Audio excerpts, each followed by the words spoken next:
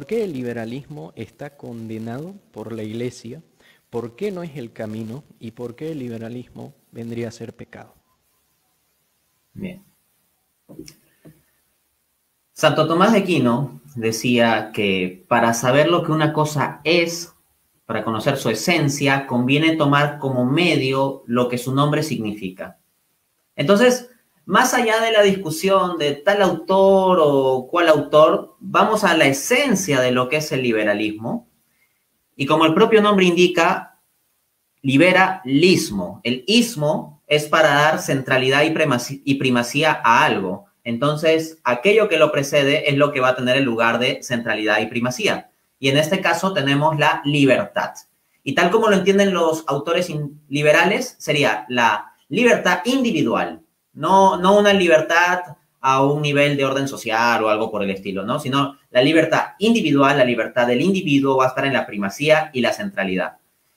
Y al mismo tiempo, si seguimos profundizando en leer autores liberales, nos va a quedar muy claro que la acepción bajo la cual ellos se refieren a la libertad es la acepción de libertad negativa, entendida fundamentalmente como no interferencia. Algo muy común en el discurso de los liberales de distintos colores es que ellos dicen respecto a las transacciones de mercado, por ejemplo, que nadie te pone una pistola en la cabeza respecto a hacer tal o cual cosa pero que el Estado es malo porque el Estado sí tiene el monopolio de la violencia. Entonces, para los liberales el entendimiento de la libertad es fundamentalmente en términos de no interferencia, de que no haya ninguna instancia externa que nos coaccione. Desde esa perspectiva, la libertad entendida puramente desde una forma negativa, es decir, en el sentido de no interferencia, nos lleva a un conjunto de dificultades porque ciertamente en la fe cristiana se habla de la libertad. Y Jesucristo nos dijo que la verdad nos hará libres. Entonces Jesús valora la libertad, pero no esa libertad negativa de que yo puedo elegir hacer lo que me dé la gana mientras otro no me coaccione, sino la libertad de la que habla Jesús es la libertad positiva de autorrealización desde la verdad.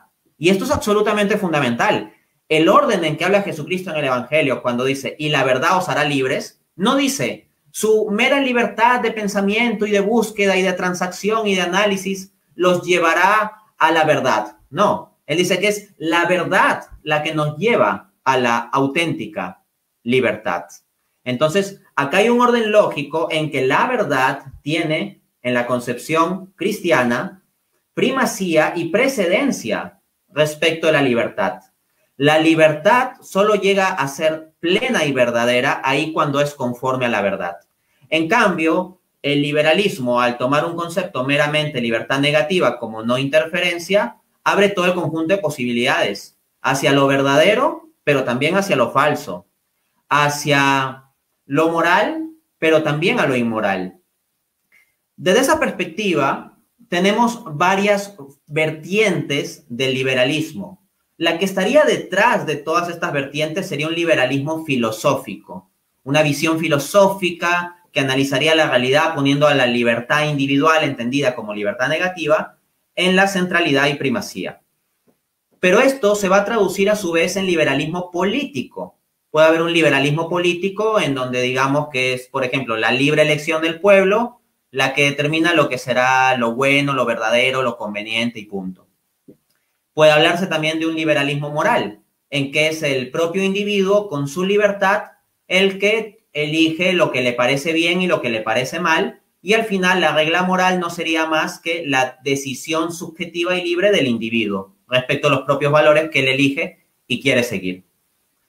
Puede hablarse también de un liberalismo a nivel económico, en tanto tendríamos estructuras en donde todo se organizaría por libre concurrencia. Es decir, mientras alguien libremente quiera comprar algo y alguien libremente quiera venderlo y acuerdan sobre ello, pues con eso es base suficiente y óptima para que se organice la economía. Pues bien, puede hablarse también de un liberalismo social, que sería un poco la aplicación en sociedad del liberalismo moral. La perspectiva aquí sería que los liberales sociales estarían de acuerdo con ideas como la promoción del aborto, la ideología de género y ese tipo de cosas. Desde esa perspectiva, lamentablemente, muchos cristianos de la actualidad, eh, especialmente jóvenes, en vista de la debacle que significa el comunismo marxista, pues abrazan formas de liberalismo económico. Dicen rechazar el liberalismo social y el liberalismo moral, pero al mismo tiempo abrazan el liberalismo económico. Suelen usar frases clichés del tipo, bueno, yo soy liberal en lo económico, pero conservador en lo social, lo cual es una absoluta falacia desde que lo económico no es algo que sea separable de lo social. Todo fenómeno económico es también un fenómeno social siempre y necesariamente. Asimismo, todo fenómeno económico surge de la acción humana. No, no se trata como el movimiento de los planetas respecto de los cuales la voluntad del hombre no tiene influencia. Todos los fenómenos económicos están vinculados de forma directa o indirecta a la acción humana voluntaria. Desde esa perspectiva, todo fenómeno económico está sujeto a juicio moral, porque la acción humana que surge desde nuestra libre elección conforme a lo que vemos razonable es sujeto a juicio moral. Entonces, uno no puede desligar el área moral de la económica. No puede decir, bueno, yo soy conservador en lo moral o en lo social, pero liberal en lo económico. Y en cuanto a la visión católica, la condena al liberalismo es muy clara. A nivel filosófico, tenemos la encíclica Libertas o el documento Libertas, que condena fuertemente el liberalismo filosófico. Asimismo, el Papa Pío IX, en su sílabo de errores, condena múltiples errores del liberalismo filosófico. Y de una u otra forma, en tanto el liberalismo filosófico es la base implícita como, como mínimo del liberalismo político, social, moral o económico, la condena general del liberalismo filosófico ya va a involucrar la condena del liberalismo económico. Pero resulta que la Iglesia también ha hecho condena explícita del liberalismo económico. Hay un rechazo desde el magisterio de la Iglesia al liberalismo económico. Así, Juan Pablo II, en su encíclica Centesimus Annus, numeral 2 y 3, nos dice lo siguiente, abro cita. La conmemoración que aquí se hace se refiere a la encíclica leoniana. Paréntesis, se refiere a la encíclica Rerum Novarum de León XIII, que inicia como documento papal el magisterio social de la Iglesia en el año 1891. En tanto documento papal, claro está, porque una enseñanza social de la Iglesia viene desde los primeros siglos, eso sí. Continúo con la cita y también a las encíclicas y demás escritos de mis predecesores, constituyendo así magisterio social de la Iglesia.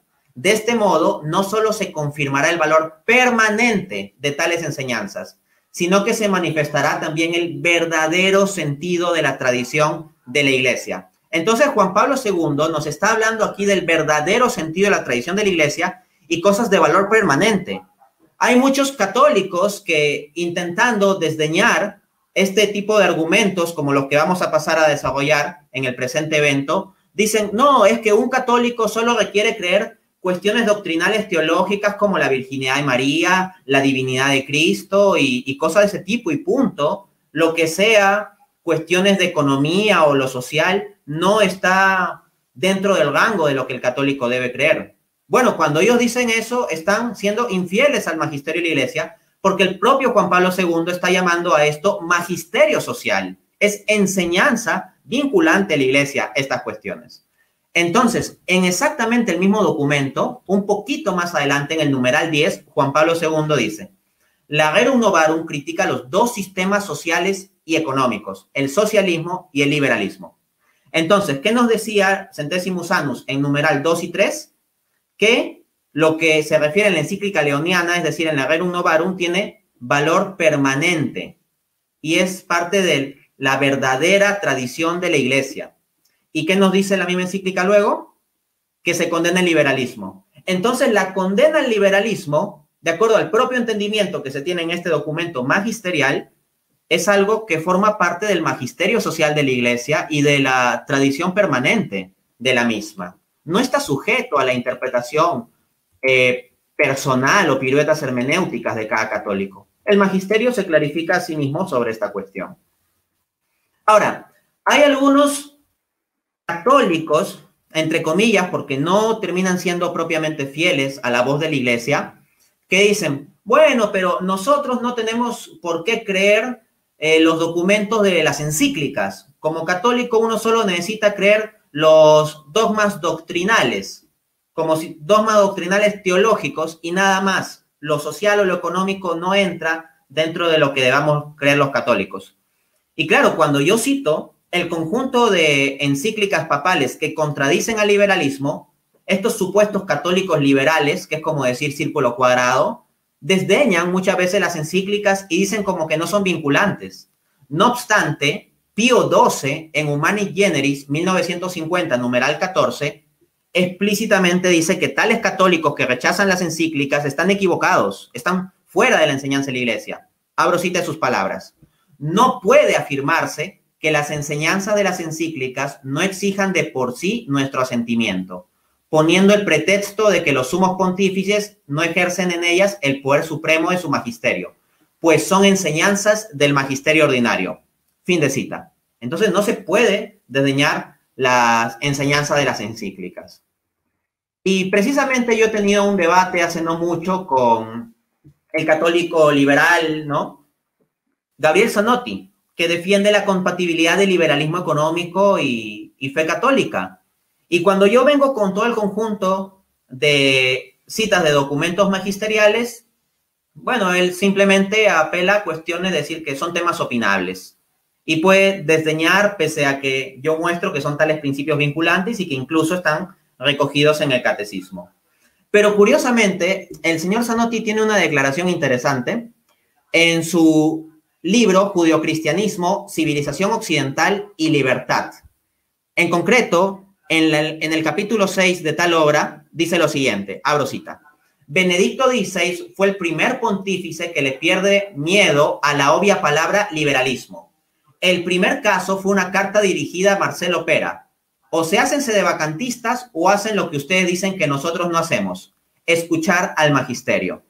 Acá la argucia que, argumentativa que plantea Zanotti es que en el prólogo que escribió Benedicto XVI a un libro del autor Marcelo Pera, pues habla en términos positivos de la palabra liberalismo. Entonces Zanotti va a pasar a decir, bueno, si ustedes no van a obedecerle al Papa Benedicto XVI en eso que está diciendo, entonces mejor háganse de vacantistas, porque no están escuchando al magisterio. De verdad, a mí me sorprende mucho que alguien que es doctor en filosofía y conocido como, pues, difusor de ideas supuestamente católicas, caiga en tal equívoco. ¿Por qué? Porque cualquier católico bien formado sabe entender lo que es magisterio. Un comentario privado de un papa en una entrevista no es magisterio. Una opinión de papa en un vuelo de avión no es magisterio. Un libro teológico de la investigación particular de un papa que eventualmente publique no es de por sí magisterio. La instancia de magisterio son documentos oficiales en donde el papa habla para el conjunto de los fieles. Precisamente en los documentos magisteriales se deja claro que se está definiendo alguna enseñanza para el conjunto de los fieles. Pues bien, ¿qué es lo que tenemos nosotros aquí? El libro de Marcelo Pera se titula ¿Por qué debemos considerarnos cristianos? Un alegato liberal. Y Benedicto XVI efectivamente le hizo un prólogo. Ahora bien, ¿ese prólogo es magisterio? No, porque es la opinión privada de un papa. ¿Ok? Y esa opinión privada está en un prólogo de un libro particular, no en una instancia de definición de doctrina.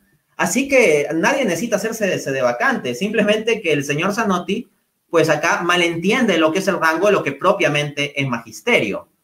Además, es curioso que se apegue a una frase que no es magisterial para desdeñar todo el conjunto de citas de documentos que sí son magisteriales, en donde hay una crítica constante al liberalismo económico.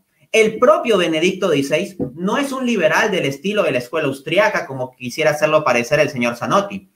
Cuando el Papa Benedicto XVI utiliza la palabra liberalismo en ese prólogo, no se refiere ni siquiera al liberalismo económico, estilo Mises y Hayek. Se refiere simplemente a un conjunto de libertades políticas y jurídicas básicas propias de los regímenes europeos. Demostración clara de esto es que el propio Marcelo Pera, autor del libro prologado, dice en el mismo, en la introducción, vivimos en regímenes liberales, refiriéndose a Europa. Pues bien, ningún economista austriaco diría que los países europeos son regímenes de liberalismo económico de la escuela austriaca. Más bien diría que son regímenes donde hay mucho intervencionismo. Así que de lo que se está hablando en ese prólogo ni siquiera es el liberalismo económico de la escuela austriaca que propugna Zanotti, sino una cuestión de valores políticos básicos. Y en todo caso, como he apuntado, eso no es magisterio, es un comentario privado de Benedicto XVI y por lo tanto ni es infalible ni, ni siquiera es vinculante, porque no, no forma ni siquiera parte del magisterio ordinario, es simplemente su opinión privada.